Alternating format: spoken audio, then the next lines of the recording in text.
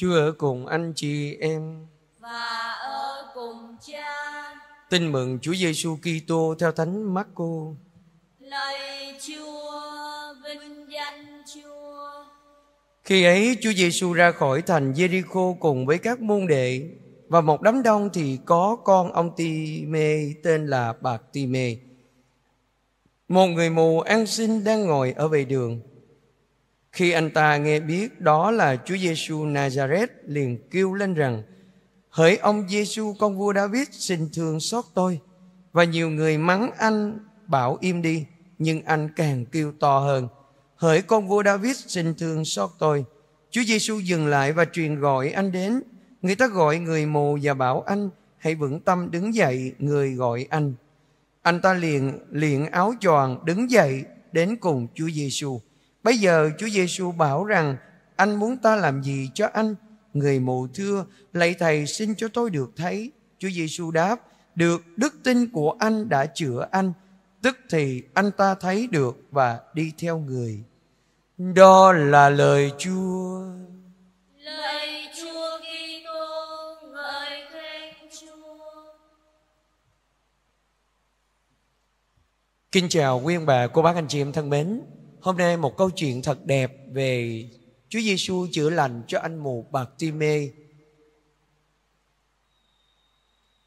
Anh mù này, ảnh tí mù lòa. Nhưng ảnh vẫn có một công việc. Dù công việc đó là công việc không ai mong muốn, nhưng anh ta không muốn sống một cuộc đời phải dựa dẫm vào người khác vì thế, anh đã ăn xin. Một người ngồi ăn xin ở vệ đường là một con người bị nhân phẩm của mình hạ cấp hơn so với người khác. Số phận của anh là mù lòa, là đã một thiệt thòi lớn rồi. Giờ đây anh còn ngồi ăn xin ở vệ đường lại thiệt thòi hơn nữa vì nhân phẩm của anh đã bị hạ giá xuống một mức thấp hơn nữa theo quan niệm của người do thái xưa, thời chúa giêsu thì cho rằng những người bị mù, bị què hoặc bị ông ngồi tất cả những chuyện đó là do tội lỗi của họ đó là điều mà Chúa Giêsu đã nói là không đúng. Tất cả những người bị ốm đau bệnh tật không phải là do số phận của họ như vậy, nhưng tất cả mọi sự là để Thiên Chúa có thể đụng chạm đến những nỗi đau đó, chữa lành cho họ để vinh quang của Thiên Chúa được tỏ hiện. Và hôm nay đây Chúa Giêsu ngài đã chạm đến anh mù bạc ti mê. Chắc chắn tại sao anh mù bạc ti mê lại hỏi Chúa Giêsu lại muốn Chúa Giêsu khi nghe người ta nói về Chúa Giêsu. Vì anh ta ngồi ở vệ đường, người ta đi tới đi lui rất nhiều và người ta đã bàn tán về Chúa Giêsu, một vị ngôn sứ vĩ đại đã xuất hiện trong dân, một người luôn luôn làm phép lạ cho dân chúng. Do đó anh ta cũng tò mò, anh ta cũng càng muốn mình được chữa lành, được hòa nhập vào xã hội, được thoát khỏi cảnh bần cùng của xã hội này mà anh đang gánh chịu. Do đó khi Chúa Giêsu đi ngang qua, anh ta đã lớn tiếng kêu lên cùng Chúa Giêsu, lạy Đức Giêsu con vua David xin thương xót tôi. Chúa Giêsu nghe được tấm lòng của anh và đã chữa lành cho anh. Chữa lành không phải là Chúa Giêsu chữa lành con mắt anh không, nhưng Chúa Giêsu đã phục hồi lại nhân phẩm cho anh, trao lại cho anh đúng với lại phẩm vị làm người mà Thiên Chúa đã ban cho con người. Anh đã hân hoan và đi theo Đức Giêsu. Bây giờ vấn đề đặt ra đó là còn rất là nhiều người mù, còn rất là nhiều người tàn phế, còn rất là nhiều người bại liệt. Vậy tại sao Chúa Giêsu không làm phép lạ hết cho họ? Giả dụ như quý ông bà của bác anh chị em đang nằm trên giường, luôn luôn kêu cầu Chúa. Chúng ta sẽ đặt ra câu hỏi, Lạy Chúa, con kêu cầu Chúa nhiều lắm, Đáng lẽ lòng tin của con không bằng anh mù bạc ti mê sao? Sao chúa không làm phép lạ để chữa lành cho con? Khi ông bà, cô bác, anh chị em nói câu đó, chúng ta phải xét lại xem mình có bị chà đạp nhân phẩm bị loại trừ ra khỏi xã hội giống như anh mù bạc ti mê hay không? Giống như vị bác sĩ, khi mà trong một trận hỏa hoạn hay trong một trận động đất hay trong một vụ tai nạn tập thể nào đó, những bệnh nhân nằm la liệt khắp mọi nơi, kêu gào khóc than bác sĩ sẽ đến chữa lành cho ai trước thương bà của bác anh chị em? Có phải những người kêu lên, bác sĩ ơi, tôi ở đây, tôi đau lắm, bác sĩ ơi, cứu tôi với. Hay là một người nằm bất động và không kêu cứu được? Ông bà cô bác anh nghĩ, chị em nghĩ bác sĩ cứu ai trước? Chắc chắn là cứu những người nằm bất động vì họ đang bị nặng hơn, cho nên họ không còn sức để kêu cầu, kêu cứu vị bác sĩ đó nữa. Bác sĩ nhận ra điều đó, cho nên bác sĩ đến và cứu chữa, ưu tiên cho những người như thế. Chúng ta hãy tạ ơn chúa, vì trong hoàn cảnh này chúng ta tuy đau đớn, nhưng chúng ta vẫn được người khác quan tâm. Chúng ta tuy đau đớn, nhưng nhân phẩm chúng ta vẫn còn tuy đau đớn, nhưng chúng ta vẫn được sự yêu mến.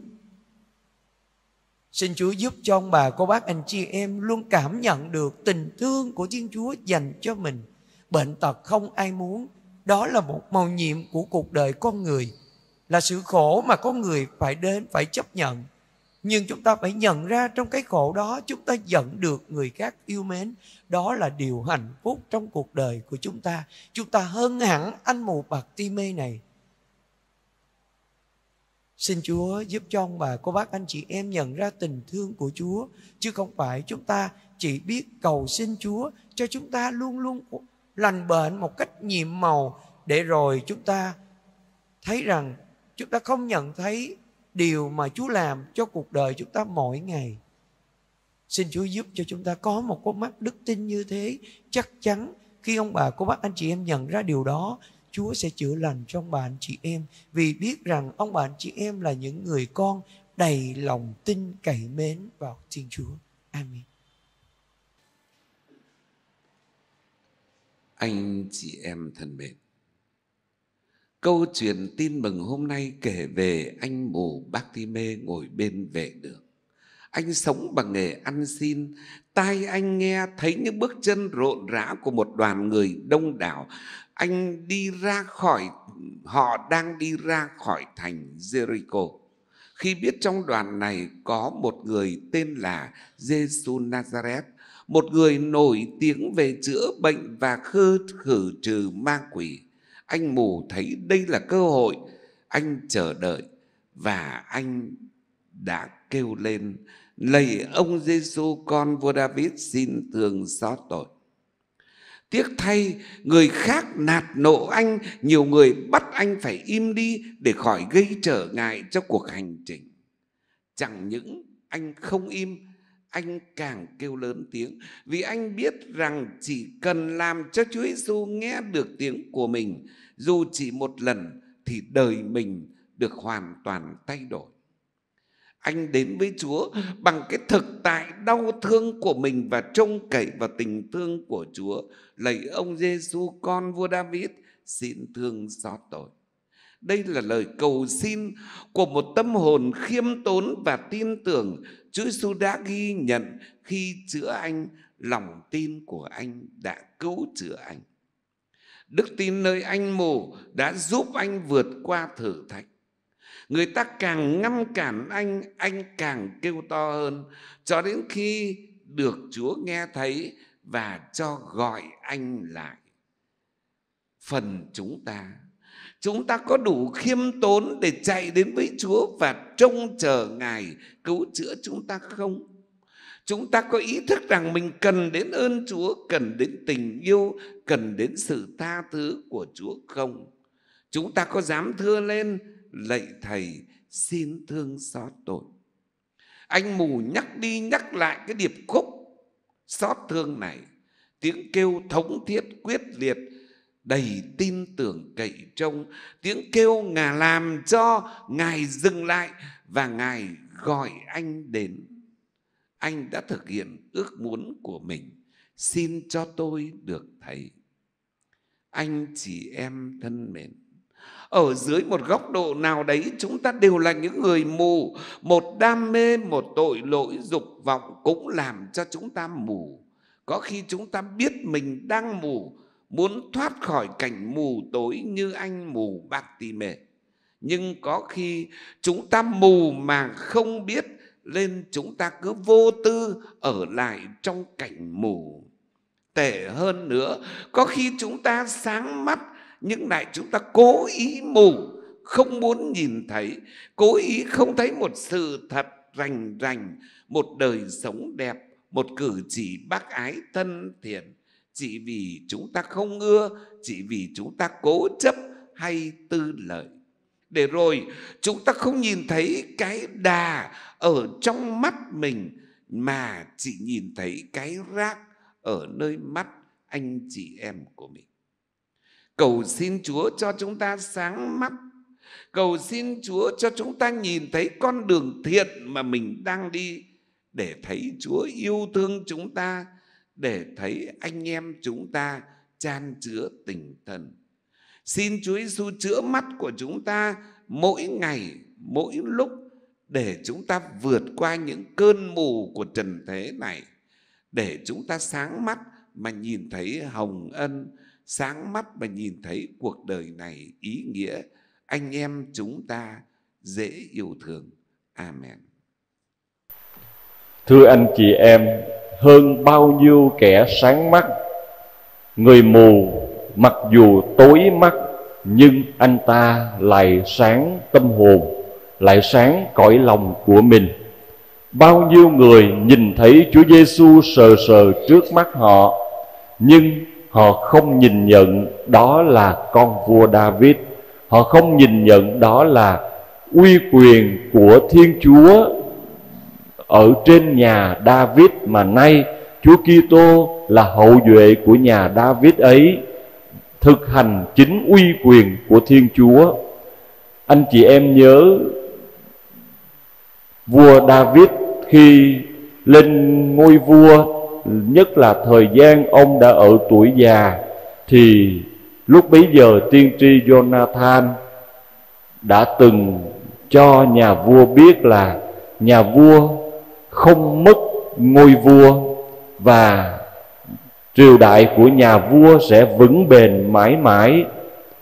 Và nếu sau này mà có bất cứ một lời tuyên xưng nào gọi Chúa Giêsu là con vua David, thì đều cho thấy những người đó có đức tin vào chính lời phán quyết mà tiên tri Nathan ngày xưa đã từng nói, để cho thấy rằng Chúa Giêsu trực hệ thuộc dòng dõi vua David. Điều mà Thiên Chúa đã ấn định đó là làm cho triều đại của vua David vững bền mãi mãi và Chúa Giêsu sẽ là đứng cai trị bằng chính, ngai vàng của vua David bằng chính quyền của vua David mãi muôn đời. Nghĩa là vương quyền của Chúa trường tồn quân quyền của Chúa là vương quyền vĩnh cửu. Cho nên khi nói con vua David có nghĩa là tuyên xưng vào chính vương quyền của Chúa, vương quyền mà ngày xưa Thiên Chúa đã hứa trước.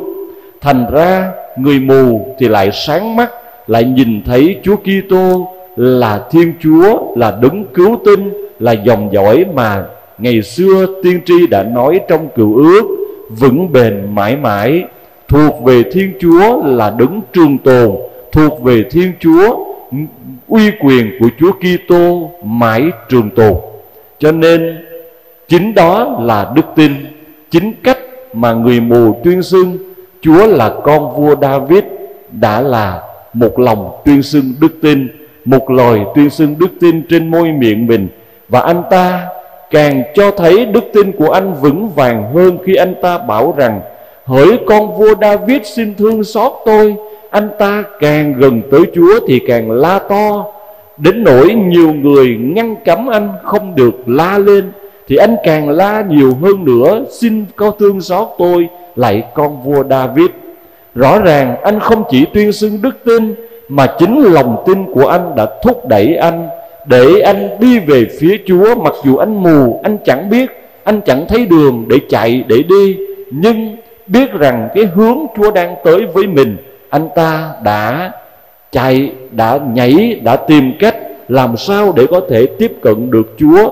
Anh ta la lên bằng chính lòng tin, la lên bằng chính lòng tin mà anh ta đã có sẵn, đã tin tưởng sẵn ở trong lòng mình. Người mù Bartime là con của ông Time bên vệ đường mà người ta ai cũng thấy hàng ngày anh ta ăn xin, nay anh ta lại tuyên xưng đức tin để rồi được Chúa chữa lành.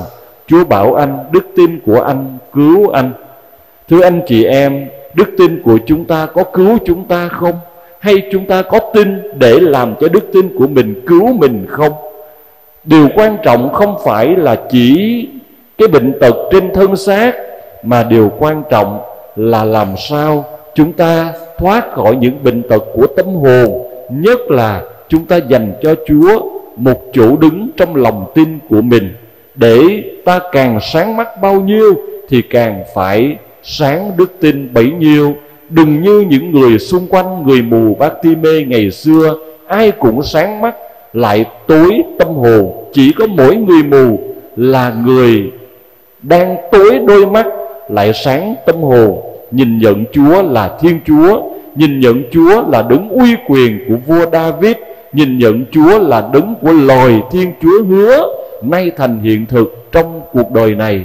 Vậy cho nên tất cả những điều đó phải là bài học cho chúng ta có khi sáng mắt lại mù tối tâm hồn. Hãy làm sao bằng chính lòng tin của mình, bằng chính việc giữ đạo của mình, bằng chính việc sống đạo của mình. Đức tin của chúng ta phải làm cho chúng ta sáng tâm hồn. Bây giờ chúng ta sẽ thật hạnh phúc hạnh phúc hơn người mù năm xưa, vừa sáng đôi mắt thể xác. Nhưng tâm hồn chúng ta lại vẫn là một tâm hồn trang chứa lòng tin.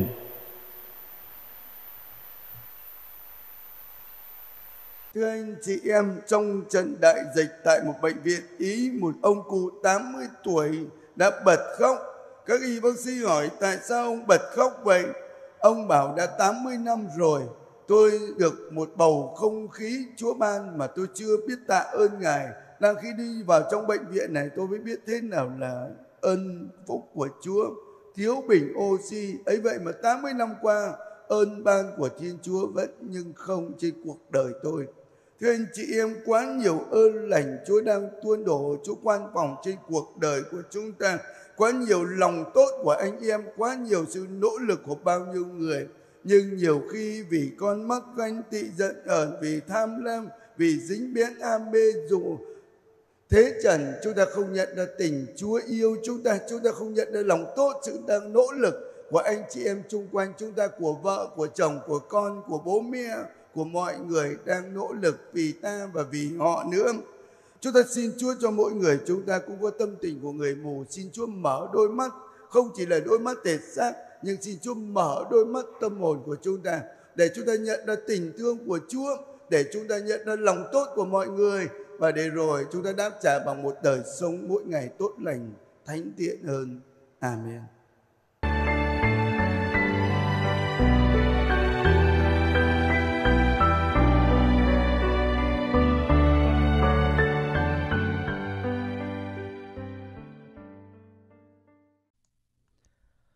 Quý ông bà và anh chị em thân mến, trước mỗi dấu chỉ hay sự kiện, mỗi người sẽ có cái nhìn dưới góc độ khác nhau.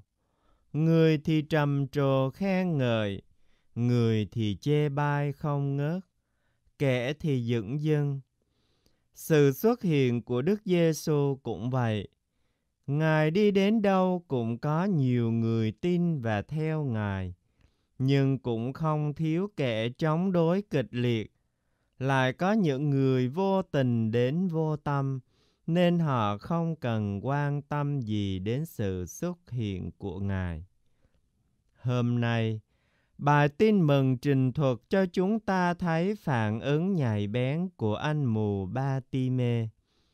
Anh vừa nghe nói đến Đức Giêsu thành Na-za-rét, anh ta đã cố nhoi lên và không ngừng kêu xin. Lạy ông Giêsu, con vua David, xin dụ lòng thương tôi. Lời kêu cầu này của anh mù không chỉ đơn thuần là lời van xin, mà còn là lời tuyên xưng niềm tin mạnh liệt của anh vào một Đức Giêsu mà anh đã được nghe nói đến và hôm nay anh đã được gặp. Điều này đã được chứng minh bằng lời khen ngợi và sự chữa lành của Đức Giêsu. Đức tin của anh đã cứu anh. Tuy bị mù lòa về thể lý, nhưng tâm hồn của anh rất tin anh bén nhạy đến độ cho dù chưa hề được tặng mắt thấy Chúa Giêsu và chứng kiến việc người làm phép lạ mà mới chỉ nghe về người thôi, anh đã tỏ ra tin tưởng người lắm rồi. Thậm chí có thể tầng tham tâm của mình, anh đã hết sức mong chờ được gặp người nữa hành động liền áo choàng đứng dậy đến cùng Chúa Giêsu của anh mù Ba Ti-mê này không chỉ cho thấy nỗi vui mừng khôn tạ vì được chính đắng anh chưa bao giờ thấy nhưng hết sức tin tưởng đáp ứng nguyện vọng của anh. Mà còn cho thấy, anh ta hoàn toàn tin tưởng rằng anh ta chắc chắn sẽ được chữa lành nữa. Theo tâm lý bình thường, chúng ta hiểu là người mù muốn được thấy ánh sáng mặt trời, muốn được thấy những người thân yêu của anh ta muốn trở nên bình thường như mọi người với cặp mắt để được thấy tất cả mọi thực tại quanh mình thế nhưng nơi trường hợp riêng của anh mù Batime này thì anh ta muốn được thấy chính đáng anh ta hằng tin tưởng và đã chữa lành anh ta. Đó là lý do sau khi anh ta thấy được thì đi theo người, cùng người và các môn đệ của người lên Jerusalem. Và chính vì anh ta đi theo người là ánh sáng thế gian, mà anh ta có ánh sáng sự sống, không đi trong bóng tối nữa. Thân phận mù lòa ngồi ăn xin của anh mù Batime trong bài tin mừng hôm nay tiêu biểu cho thân phận chung của nhân loại sau tội nguyên tổ. Một thân phận bởi nguyên tội và từ nguyên tội đã trở nên mù lòa về đời sống tâm linh, ở chỗ lầm lạc không biết việc mình làm. Sứ điệp lời Chúa hôm nay nhắc cho chúng ta về tinh thần sống đạo liệu trong cuộc sống chúng ta có nhạy bén với lời Chúa, với các dấu chỉ hay nhiều khi chúng ta dựng dân với những sứ điệp mà hàng ngày Thiên Chúa không ngừng gợi đến cho chúng ta qua các biến cố cuộc đời. Lạy Chúa Giêsu, xin chữa lành sự mù lòa của đôi mắt tâm hồn con Xin cho tâm hồn chúng con luôn biết nhạy bén với sứ điệp lời Chúa để chúng con mau mắn thi hành và được cứu độ. Amen.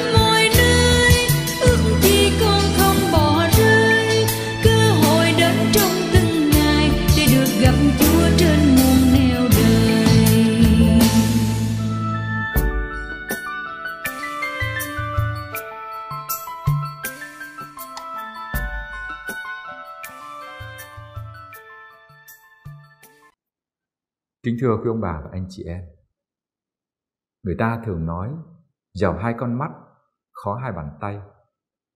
Đôi mắt là cửa sổ tâm hồn. Nhờ đôi mắt chúng ta có thể nhận biết và tiếp xúc được với thế giới bên ngoài. Chúng ta có thể nhìn thấy vạn vật, nhìn thấy vẻ đẹp của vũ trụ. Bình thường khi sinh ra, Chúa ban cho chúng ta có đôi mắt. Nhưng ít khi ta để ý đến tầm quan trọng của nó, chỉ khi bị đau mắt ta mới cảm thấy đôi mắt thật là quý giá. Bên cạnh đó cũng có những người sinh ra bị khiếm thị. Họ không nhìn thấy mặt trời và vẻ đẹp của vũ trụ. Họ không thấy màu sắc, bóng dáng người thân yêu. Đường đi ngọ về, tất cả vũ trụ sinh hoạt như khép lại. Đóng cổng trước mắt họ. Một đời họ chấp nhận sự lệ thuộc vào người khác. Cho nên tâm lý người mù là họ dám làm bất cứ chuyện gì để được sáng mắt. Vì thế, chúng ta dễ hiểu người mù ăn xin tên là Batime, dám coi nhẹ mọi người trong đám đông để kêu xin Chúa Giêsu đi ngang qua khi Ngài trên đường về Jerusalem. Người mù này đã không thể đến gặp Đức Giêsu được. Và nay lời dùng giữa đám đông, anh kêu xin. Anh biết Chúa Giêsu đi qua cũng là nhờ có đám đông ồn ào. Số đông này cũng đi lên Jerusalem dự lễ vượt qua và nhập bọn với các tông đồ và số phụ nữ giúp việc đạo đức đi theo. Hẳn là anh phải kêu khàn cổ mới áp được tiếng đám đông. Còn đám đông không hiểu anh, cho rằng anh la lối om sòm, xin ăn như mọi khi, hoặc nghĩ kêu tên như vậy không xứng ở nơi công cộng, cho nên họ bắt anh im đi. Nhưng vô ích, đối với anh, đó là dịp duy nhất cho hy vọng bừng lên. Thế là anh càng kêu, gào to hơn nữa để cho Chúa nghe được tiếng anh.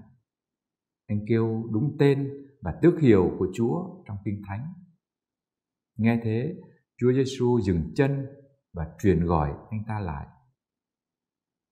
Thế là đám đông thay đổi thái độ. Trước kia họ bắt anh im đi, bây giờ họ còn khuyên anh can đảm lên, đứng dậy, đi tới, Chúa gọi anh. Anh ta vứt bỏ áo choàng, chảy cho lẹ, vui mừng, nhảy cẫng lên, đến với Chúa. Chúa nói, anh muốn ta làm gì cho anh? Chúa hỏi như thế không phải để biết anh ta muốn gì, xin gì, nhưng là để tăng đức tin cho anh và cũng là dịp để tỏ lộ đức tin công khai. Anh trả lời ngay, xin cho con xem thấy. Và Chúa đã thưởng công đức tin cho anh ngay lập tức. Qua lời Chúa phán, đức tin của con đã cứu chữa con. Có lẽ đám đông ngạc nhiên vì chỉ nhìn ra ánh mắt sáng thế mà thôi. Nhưng giữa anh và Thiên Chúa có liên hệ là từ đây anh biết Chúa Giêsu thực sự là ánh sáng, là người bảo đảm cho anh ơn cứu độ. Trong cuộc sống, chúng ta có thể bị mù quáng bởi tội lỗi, dục vọng. Chúng ta lảo đảo một mình trong tâm tối của lầm lỗi. Những lúc ấy, chúng ta đừng tuyệt vọng. Chúng ta phải can đảm như anh mù Batime hôm nay. Mặc dù cho đám đông phản đối anh, anh vẫn một mực kêu xin. Lời cầu xin với đám với tấm lòng thành của anh đã được Chúa nhận lời. Thiên Chúa sẽ giúp chúng ta. Ngài không chậm trễ trước những nhu cầu của chúng ta. Có điều chúng ta có dám đến với Ngài, có dám xin Ngài, có dám tỏ lòng tin tưởng vào Ngài hay không? Lạy Chúa, xin Chúa là nguồn sự sáng, chiếu rọi vào tâm hồn u tối của chúng con, để chúng con biết nhận ra sự tối tăm tội lỗi của chúng con mà chạy đến với Chúa một ngày. Amen đó là lời Chúa.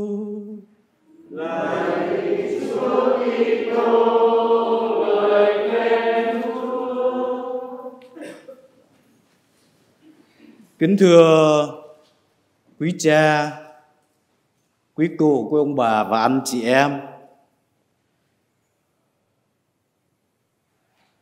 Chúa chữa người mù.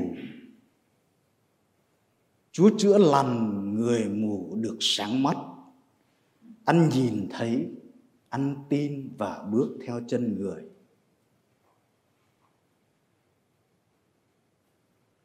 Nhìn vật, nhìn người, nhìn chính mình. Mỏng giòn, đau yếu, nhờ Chúa thương Những cái gì đó hôm nay chúng ta thấy được mời gọi nhìn để mà đặt niềm hy vọng vào một thiên chúa. Một thiên chúa không phải một thiên chúa đã chết, nhưng mà một thiên chúa đang sống và hoạt động giữa chúng ta. Như chúng ta thấy rằng à, quý vị vô trong nhà nguyện này thì chúng vị, quý vị đi qua mấy bãi nước, đúng không? Đấy, mới có mưa có hai ba đợt thôi, phải không? Là nó sình lầy rồi. Ờ, nước lụt lội, phải không? Đấy cảnh vật quanh ta cũng gọi là tiêu điều. Chúng ta thấy là đấy môi trường cuộc sống địa cầu này cũng chẳng có bền vững gì. Đấy cũng bị hư hoại và cần sửa chữa cần được chăm sóc và gìn giữ. Rồi quý vị mà đi vô một bước vô nữa nhìn ông thánh mắt tin không? Thế cái tượng đó, vật chất ấy, thì nó cũng là thời, theo thời gian rồi nó cũng bị uh, bào mòn và hư, hư hại mới đang được sửa chữa và sẽ được sơm thêm một lớp nữa. Nó cần được sửa vào đấy vật quan ta nó cũng à, mọi sự nó thấy là nó cần phải được sửa chữa. Nó bị hư và cần được sửa. Và giờ chúng ta vô trong nhà nguyện này, xung quanh là chặng đường thánh giá nhắc lại khổ ải nhân sinh. Đã mang lấy phận người kiếp người phải khổ, nên mới cần nhờ ơn chúa. Và nhìn thêm một bước nữa, tượng tử nạn của chúa, đúng không? Tử thần đã từng thắng một lúc nào đó, nhưng chúng ta cũng vừa cử hành mùa phục sinh. Chúa đã chiến thắng sự chết để ông cho nhìn thấy mấy chữ mấy chữ ở trên chỗ những cái tại nhà tạm đúng không? Nó là viết là IC, XC, Nika phải không? Là Jesus Christus Nika. Chúa cuối cùng chiến thắng. Chúa Giêsu Kitô cuối cùng chiến thắng. Và quả thực Ngài đã chiến thắng. Ngài đã chiến thắng tử thần. Ngài đã sống lại vinh hiển và lên trời đang ngự bên hữu Chúa Cha trong vinh quang. Đó là chính nơi Đức Giêsu Kitô mà chúng ta hy vọng. Và tin mừng ngày hôm nay chúng ta thấy là đấng mà chúng ta đặt niềm hy vọng đã chữa lành. Chữa lành một con người bị mù về thể lý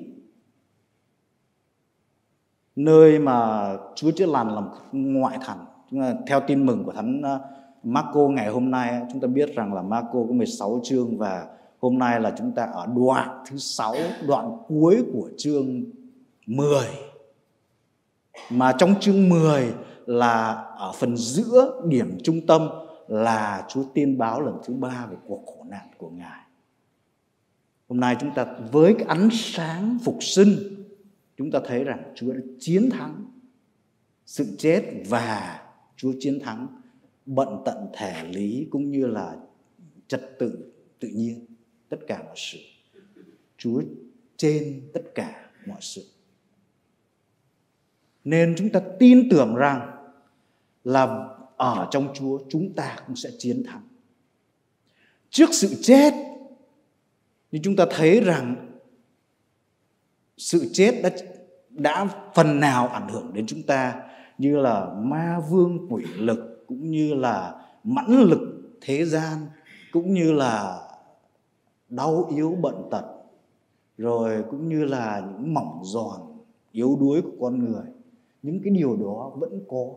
Nhưng chúng ta biết rằng với ơn Chúa, với sức mạnh của Thiên Chúa, thì chúng ta sẽ chiến thắng. Nên chúng ta thấy rất là rõ, hôm nay Chúa đã chữa người mù không những chỉ về thể lý nhưng là con mắt đức tin để nhìn thấy nhìn thấy người và xác tín vào Đức Giêsu Kitô để bước theo chân người. Nên dù chúng ta là những con người có mỏng giòn yếu đuối, có mang bệnh tật như là ở đây con nhớ cầu nguyện đến anh Thái, anh Sơn, cô Liễu rồi à, chị Thảo, Thái Sơn, Liễu Thảo cũng như là công cha như à, công cha nghĩa mẹ ừ, tựa non thái liễu rũ mong manh cỏ eo uột. À, chúng ta thấy rằng là cái vấn đề mà bất hiếu ngày nay cũng hơi nhiều. Tội lỗi con người à, các con các cháu rồi cũng con người mỏng giòn ghen tương ganh tị rồi đủ mọi sự ấy nhưng mà chính những cái điều đó chúng thấy rằng chúng ta tội lỗi chúng ta cần ơn Chúa khiêm tốn cần ơn Chúa. Xin ơn Chúa nâng đỡ mỗi người chúng ta và biết rằng với ơn Chúa qua các bí tích đặc biệt nhất là bí tích à, thánh thể nâng đỡ chúng ta trong cuộc sống. Rồi qua những phép lành phép lạ của các thánh qua những con người như vậy mà Chúa đã gieo biết bao nhiêu ơn lành trong cuộc sống, nâng đỡ mỗi người chúng ta trong cuộc sống. Chúng ta cần ơn Chúa. Chúa chữa lành ăn mù được sáng mắt. Anh nhìn thấy anh sắc tín anh bước theo chân người. Nhìn người, nhìn vật, nhìn chính mình đau yếu bệnh tật nhờ Chúa thương. Thế đó là chúng ta hướng đến Chúa và trong cái tâm tình đó chúng con cũng xin à, trích một à, đoạn thánh thi rất là hay.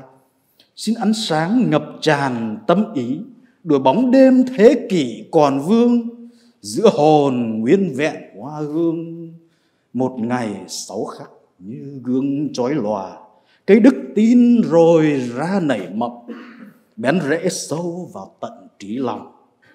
Vui mừng hé nụ cậy trông. Nở hoa mến chúa, đơm bông yêu người. Giờ đây chúng ta hãy cùng nhau kết hiệp với chúa nơi bàn tiệc thánh thể để múc lấy sức mạnh. Không phải là sức mạnh con người, nhưng mà là sức mạnh của thiên chúa. Amen. Lạy con vua david, xin thương xót con. Kính thưa quý ông bà và anh chị em, lời van xin này không chỉ là lời van xin riêng rẽ của một người hành khất có tên là Bartime, ngồi ăn xin bên vệ đường thành Jericho. Nhưng có thể nói, đây là lời van xin tiêu biểu cho cả một nhân loại đang lầm than trong cảnh mù lòa tăm tối của tội lỗi, đang kêu gào xin được Thiên Chúa thương xót. Hôm đó, Chúa Giêsu đang dẫn đầu cả một đoàn người tiến về Jerusalem. Họ theo Chúa với niềm phấn khởi và hy vọng, vì họ tin rằng chắc chắn lần này Chúa Giêsu sẽ về giải phóng Jerusalem và sẽ làm vua, đem lại độc lập và tự do cho đất nước. Như vậy là cả cái đoàn người đang theo Chúa này, tất cả họ đều sáng mắt nhưng lại chẳng ai nhận ra Chúa Giêsu là đấng nào. Trong khi đó thì một người mù không trông thấy gì, nhưng đôi mắt tinh thần của anh lại sáng suốt, khiến anh nhìn thấy con người Đức Giêsu và nhận ra Ngài là đấng cứu thế khi gọi Ngài là con vua David. Lạy con vua David, xin thương xót con. Người ta càng cản ngăn anh thì anh càng kêu to và tiếng kêu của anh đã thấu đến tai Chúa. Ngài dừng lại, cho gọi anh tới.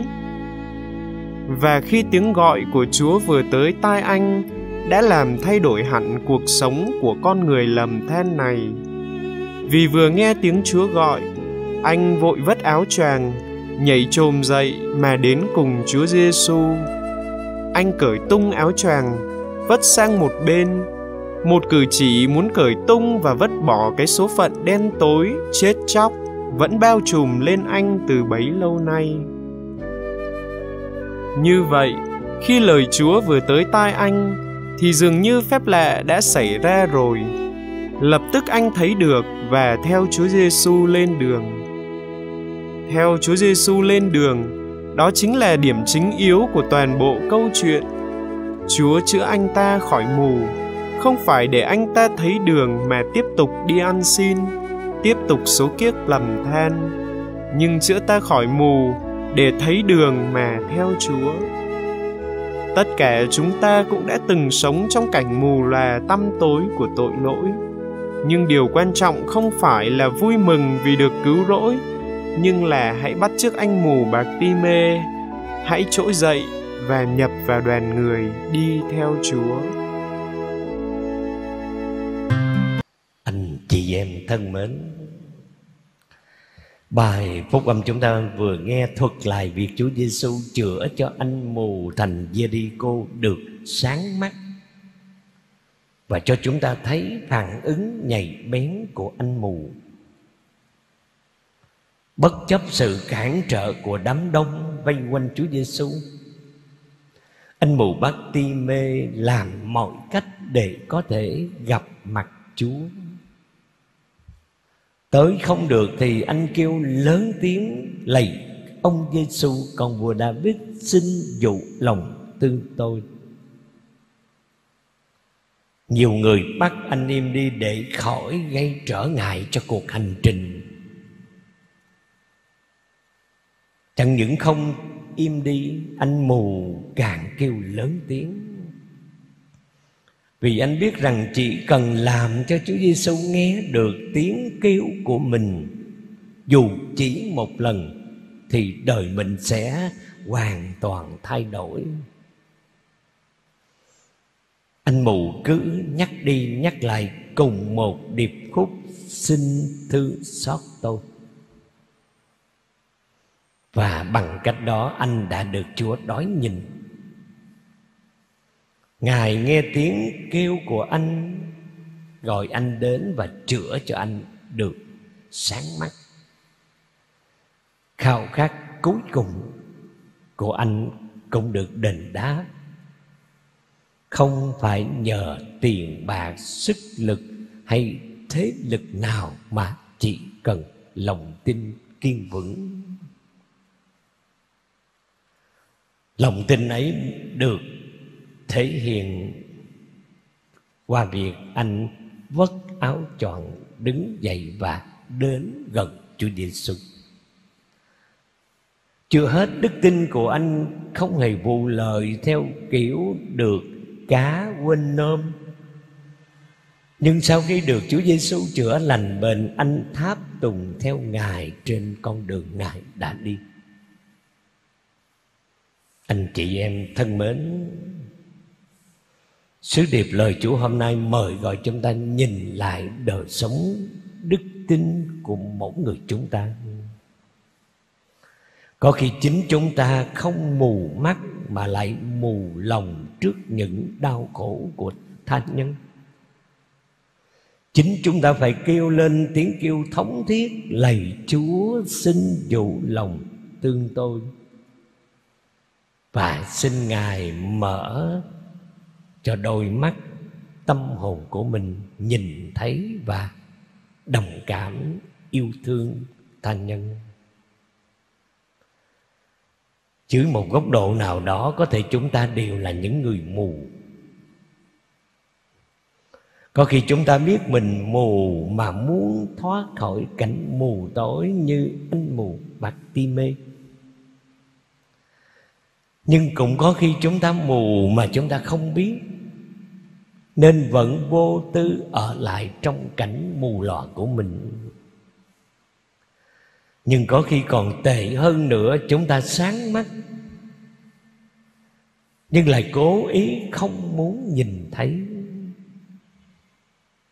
Một định kiến có thể khiến chúng ta khép lòng lại trước một sự thật lớn hơn một sự cố ý không muốn nhìn thấy sự thật rành rành chỉ vì cố chấp, vì tư lợi câu chuyện anh mù Patime còn là biểu tượng đức tin cho chúng ta ngày hôm nay nữa anh đã tin Chúa Giêsu là đứng cứu thế khi anh tuyên xưng người là con vua David. Và anh còn phải kiên trì bất chấp những trở ngại bị dân chúng bắt im lặng. Lòng tin của anh lớn mạnh, vượt qua những chướng ngại, nên đã được Chúa nhận lời. Lòng tin của anh đã cứu anh đức tin không đến dễ dàng với mọi người nó phải vượt qua những trở ngại để đạt đến những gì nó tìm kiếm. Hiểu Chúa Giêsu là ai và kiên trì kêu xin Chúa là một con đường đức tin mà anh mù bạc ti mê đã trải qua và không ngừng thúc đẩy tiến tới một đức tin như thế. Chúng ta noi gương anh mù hôm nay, cùng với giáo hội mừng lễ thánh Justino, ngài đã hết lòng tìm kiếm chân lý, trao dạng đức tin và đổ máu đào để làm chứng cho Chúa. Ngài đã cho chúng ta một kinh nghiệm tuyệt vời, đó là tìm kiếm Chúa bằng cả con tim của mình chúng ta cầu xin với thánh Justino giúp chúng ta biết tìm đến với Chúa với tất cả tâm hồn và trọn niềm tin của mình. Lạy Chúa, chúng con cảm tạ Chúa đã ban đức tin cho chúng con để chúng con nhận biết Chúa và thờ phượng Chúa, xin thêm lòng tin cho chúng con, nhất là những lúc chúng con gặp khó khăn amen quý ông bà và anh chị em thân mến trong buổi trả lời trực tuyến các bạn đọc của báo điện tử Veni Express tại Hà Nội hôm 24 tháng 5 năm 2023 vừa qua, sau khi đoạt huy chương vàng SEA Games lần thứ tư liên tiếp và chuẩn bị cho sân chơi cúp bóng đá nữ thế giới. Hai nữ cầu thủ Huỳnh Như và Thanh Nhã đều tin vào điều kỳ diệu rằng đội tuyển bóng đá nữ Việt Nam có thể làm nên chuyện ở sân chơi đẳng cấp cúp bóng đá nữ trên thế giới. Quả vậy, chúng ta không thể chối cãi rằng niềm tin vào điều kỳ diệu trong cuộc sống chính là nền tảng vô giá giúp con người thêm nghị lực để kiên trì phấn đấu hơn trong hiện tại và lạc quan trước tương lai. Trích đoạn tin mừng hôm nay thuật lại việc Chúa Giêsu chữa lành anh mù bẩm sinh tên là Bạc Tỳ mệt khi anh tin tưởng khẩn cầu lòng thương xót của Thiên Chúa. Lạy ông Giêsu, con vua David, xin rủ lòng thương tội, mặc cho những người chung quanh ngăn cản, thậm chí quát nạt và buộc anh phải im miệng. Chúa Giêsu đã nhìn rõ tâm lòng và niềm tin của anh nên đã chữa lành để mắt anh được sáng. Anh hãy đi, lòng tin của anh đã cứu anh. Thực vậy, anh mù Bartime đã luôn ấp ủ, kiên trì với lòng tin vào điều kỳ diệu nên đã được mãn nguyện. Tức khắc, anh ta nhìn thấy được và đi theo người trên con đường người đi. Chúa Giêsu không những đã ban cho anh ánh sáng của đôi mắt thể lý, mà còn giải thoát anh mù khỏi bóng đêm tội lỗi và giúp anh lên đường với người trong ánh sáng đức tin. Với ánh sáng đức tin, anh mù Bartime xưa kia này đã khám phá căn tính đích thực của mình. Anh đã trở nên thụ tạo mới trong Chúa Kỳ Tổ, nhìn cuộc sống của anh và thế giới chung quanh anh bằng một ánh sáng mới anh không còn là một người ăn xin bị cộng đồng loại ra bên lề. anh không còn là nô lệ của sự mù quáng và định kiến nữa. Hành trình được chiếu sáng của anh mù trong trích đoạn tin mừng hôm nay, thưa quý ông bà và anh chị em, chắc chắn sẽ là một ẩn dụ cho hành trình giải thoát khỏi tội lỗi mà chúng ta được mời gọi bước đi trong đời sống đức tin hàng ngày của mình. Tội lỗi giống như một bức màn đen che mặt chúng ta và ngăn cản chúng ta nhìn rõ bản thân và thế giới. Nhưng ân sủng, ơn tha thứ của Chúa sẽ xóa bỏ bóng tối này và mang lại cho chúng ta ánh sáng mới một khi chúng ta hết lòng tin tưởng vào Thiên Chúa và lòng lân tuất vô biên của người. Với sứ điệp của tin mừng ngày hôm nay, xin cho mỗi người tín hữu chúng ta trong hành trình biến đổi nội tâm hàng ngày, cũng bắt chước anh mù bạc tì mề, không cần nhiều lời, nhưng biết phó thác bản thân cho tình yêu thương của Thiên Chúa là điều có thể làm cho cuộc sống của chúng ta sinh hoa kết quả tuyệt diệu đến không ngờ.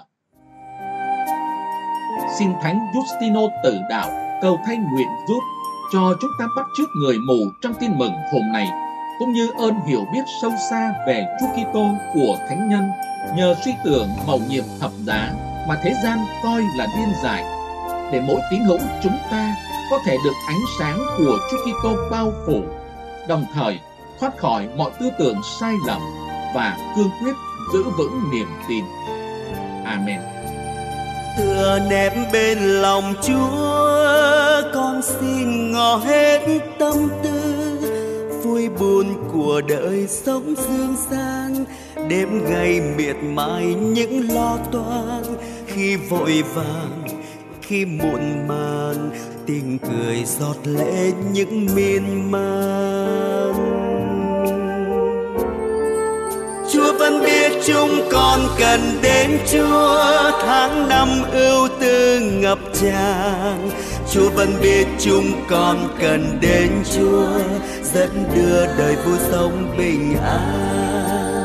Ngày tháng năm đời sống, không ai nhìn thấy tương lai. Mong chờ chỉ còn biết hôm nay, lao nhọc cả đời chẳng đôi tay trong nụ cười, bao ngậm ngùi, nơi nào trọn vẹn nghĩa an vui. Chúa vẫn biết chúng con cần đến Chúa, tháng năm ưu tư ngập tràn. Chúa vẫn biết chúng con cần đến Chúa, dẫn đưa đời vui sống bình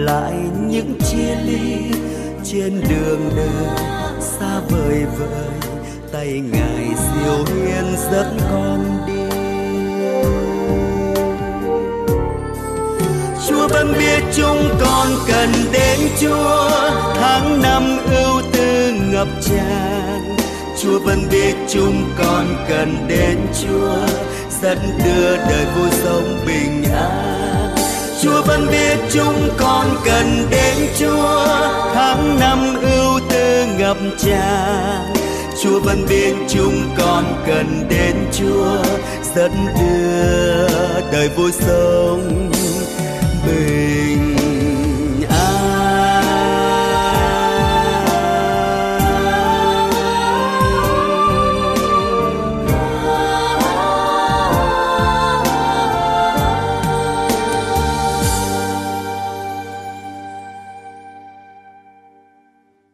Quý ông bà và anh chị em thân mến, nếu có dịp ghé thăm các trung tâm nuôi dưỡng người già và tàn tật, hay những trường đào tạo các em khuyết tật, chúng ta sẽ tận mắt chứng kiến những phận người kém may mắn.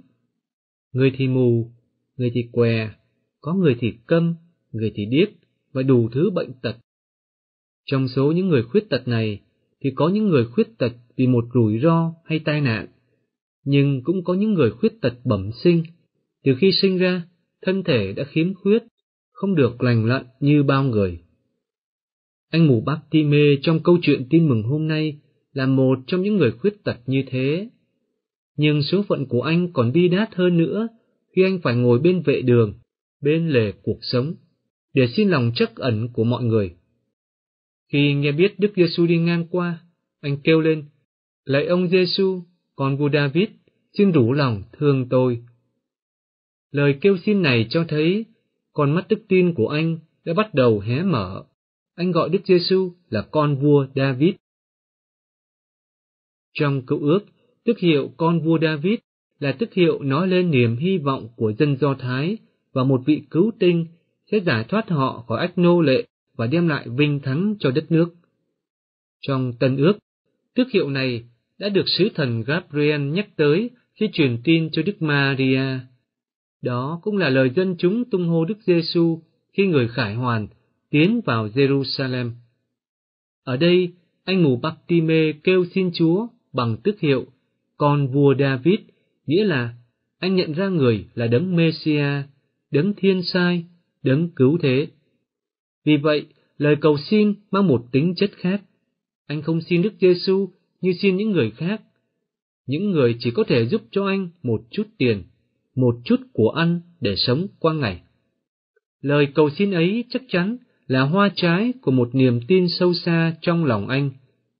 Anh tin vì đã nghe người ta đồn thổi về một ông Giêsu đã làm những điều kỳ diệu. Và niềm tin ấy còn đi xa hơn nữa. Ông Giêsu lạ lùng ấy chính là đấng Mêsia, là đấng có khả năng cứu anh khỏi cảnh mù lòa, khỏi tình trạng bi đát, khốn khổ. Bất chấp nhiều người quát nạt bảo anh im đi, nhưng anh ta càng kêu lớn tiếng. Chính niềm tin mạnh mẽ, sự tha thiết và kiên trì của anh đã chạm tới lòng thương xót của Đức Giêsu. Người nói với anh, anh hãy đi, lòng tin của anh đã cứu anh. Bằng một lời đó thôi, Đức Giêsu đã thay đổi cuộc đời của anh từ nay, anh không còn ngồi bên lề đường nữa. Lòng tin đã đưa anh lên đường. Anh được sáng mắt ngay lúc đó và đi theo Chúa trên đường. Ánh sáng của đấng thiên sai còn dấu ẩn trong Đức Giêsu Nazareth đã tỏa ra trên anh, trên đôi mắt anh. Anh là ngọn đèn Chúa đã thắp lên cho mọi người được nhìn thấy Chúa. Quý ông bà và anh chị em thân mến, anh mù Bartime đã sống trong một tình trạng khủng hoảng, đã trải qua những ngày tháng khó khăn để bò mẫm xin ăn từng bữa. Tuy nhiên, anh lại có một thứ giàu sang, đó là đức tin. Mù về thể lý, nhưng sáng về đức tin. Anh thấy nhiều cái mà những người sáng mắt không thấy. Anh thấy Đức Giêsu là con vua David. Anh tin người là đấng thiên sai, là đấng cứu thế anh thấy quyền năng và tình thương của Chúa. Trong cuộc sống, nhiều khi mù không phải là điều bất hạnh, mà bất hạnh là có mắt như mù. Còn mắt sáng thể lý có khi lại là rào cản người ta đến với Chúa vì sự mù lòa trong tâm hồn. Xin cho chúng ta biết chạy đến với Chúa và kêu xin người như anh mù bắp ti mê trong những lúc gian nan và niềm tin bị trao đảo để cũng được người xót thương chữa lành. Amen.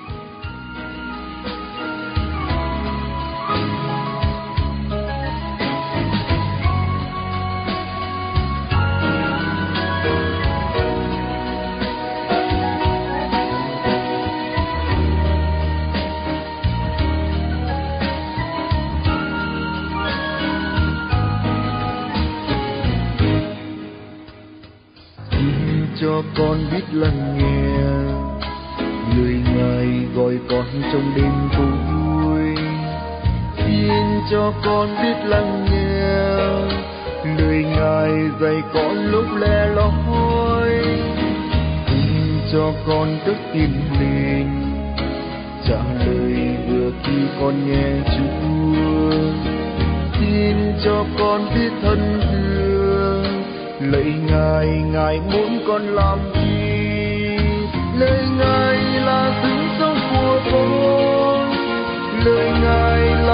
là đời sáng đời con lời ngài làm chứng chân hy vọng là đường để con hàng dõi bước lời ngài đường chấm ngất niềm vui tròn vẹn ngàn tiếng hát đầy bơi lời ngài đổi mới cho cuộc đời, lời ngài hạnh phúc cho chân ai. Cho con biết lắng nghe. Lời ngài dạy con trong cuộc sống xin cho con biết lắng nghe. Lời ngài từng theo bước đời con xin cho con biết sẵn sàng chờ đợi và vẫn nghe theo chúa. Xin cho con biết sẵn sàng thực hành lời chúa đã truyền bao lời ngài là tiếng sống của con. Lời ngài là ánh sáng đời của con. Lời ngài làm chứa chân hy vọng. Là đường để con hàng dõi bước. Lời ngài đường chấm ngất niềm vui. Tròn vẹn ngàn tiếng hát đầy vơi lời ngài đổi mới cho cuộc đời. Lời ngài hạnh phúc cho chân ai